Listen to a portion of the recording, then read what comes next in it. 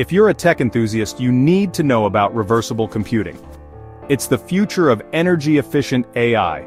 Traditional computers waste energy and generate heat. Reversible computing flips that script. Imagine processors that perform calculations without losing energy.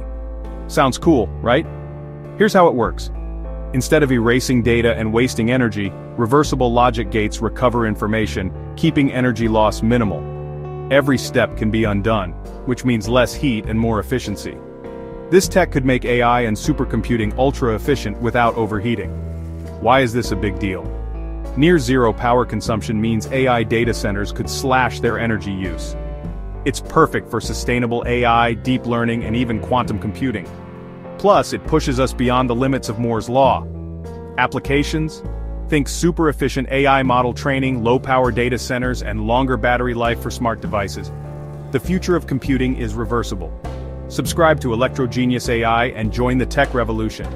Hash reversible computing hash Electrogenius AI.